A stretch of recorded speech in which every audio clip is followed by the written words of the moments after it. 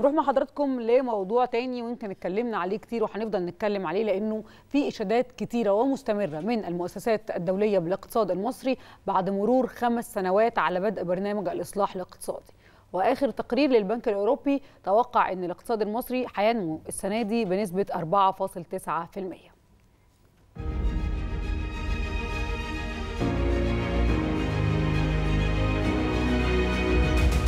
بعد خمس سنوات من الإصلاح الاقتصادي وتحرير سعر الصرف أدرك الجميع أهمية تلك الخطوة وانعكاساتها على الأوضاع الراهنة خاصة مع ارتفاع صافي الاحتياطات الأجنبية إلى 40.849 مليار دولار في نهاية أكتوبر الماضي بارتفاع قدره نحو 24 مليون دولار. ارتفاع الاحتياطي جاء بالتزامن مع توقع البنك الأوروبي لإعادة الإعمار والتنمية ارتفاع النمو في مصر إلى 4.9% خلال العام المالي 2021-2022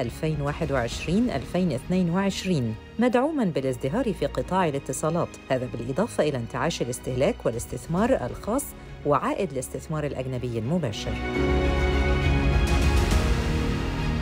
ارتفاع النمو في مصر يؤكد على أن الاقتصاد المصري يسير على الطريق الصحيح بالإضافة إلى الإجراءات الحكومية ومنها على سبيل المثال قرار تشكيل مجلس لإحلال الواردات وتعميق المنتج المحلي وهو بالطبع يسهم في زيادة الاستثمار الصناعي وتشغيل المزيد من العمالة فضلا عن خفض عجز الحساب الجاري مع انتعاش السياحة والأخبار المتتالية من مختلف المواقع المهتمة بالسياحة بمصر لكونها وجهة سياحية ضمن أفضل عشر وجهات على مستوى العالم. ما يحدث ليس وليد اللحظة وإنما هو مجهود بذل على مدار سنوات في مشروعات قومية وتنموية بإرادة القيادة السياسية وهو ما دفع المستثمرين لزيادة استثماراتهم المختلفة والإيمان برؤية مصر ومستقبلها.